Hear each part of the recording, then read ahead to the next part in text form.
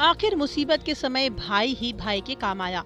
संकट की घड़ी में बड़े भाई मुकेश अंबानी ने छोटे भाई अनिल अंबानी को सहारा दिया और एरिक्सन के 550 करोड़ रुपए के बकाये के भुगतान में मदद की। इससे अनिल अंबानी पर जेल जाने का जो संकट आया था, वो टल गया है।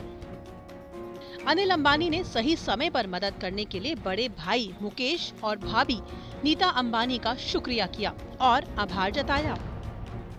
दरअसल ये मामला अनिल की अगुवाई वाली रिलायंस कम्युनिकेशन पर टेलीकॉम उपकरण बनाने वाली स्वीडन की कंपनी एरिक्सन के करीब 550 करोड़ रुपए के बकाया का निपटारा करने से जुड़ी है।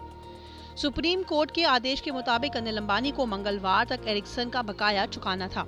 ये भुगतान न करने पर उन्हें कोर्ट की अवमानना के मामले में जेल जाना पड़ता। आरकॉम ने सोमवार को तय समय सीमा खत्म होने से महज एक दिन पहले एरिक्सन को 550 करोड़ रुपए के बकाया का भुगतान कर दिया। अनिल अंबानी के साथ साथ आरकॉम की दो यूनिट के चेयरमैन छाया पिरानी और सतीश सेठ पर भी जेल जाने का खतरा मंडरा रहा था।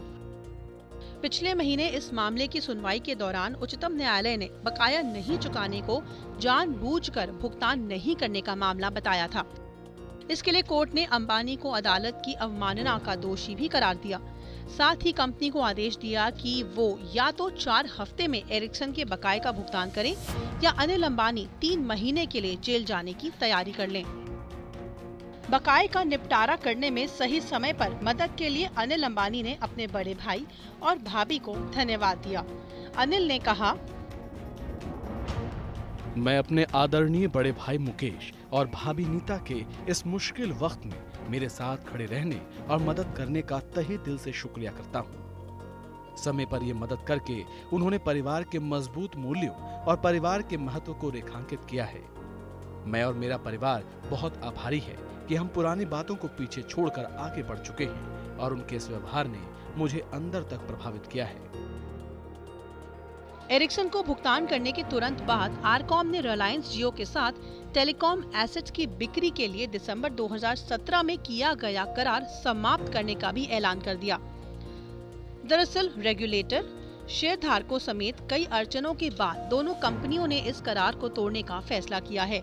दोनों कंपनियों ने इस करार को खत्म करने के लिए ऐलान करते हुए कहा कि सरकार और कर्जदातों से मंजूरी मिलने में देरी और कई तरह की अड़चनों से ये समझौता समाप्त किया जाता है।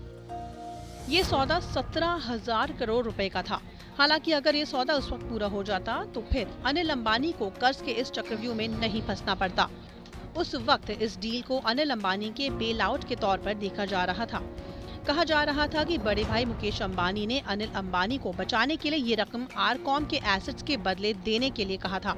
लेकिन तमाम मुश्किलों के बीच सौदा पूरा नहीं हुआ और अनिल अंबानी को जेल जाने से बचाने के लिए मुकेश अंबानी ने आगे बढ़कर फिर से अपने छोटे भाई को बचाया है। ब्यूरो रिपोर्ट आज तक।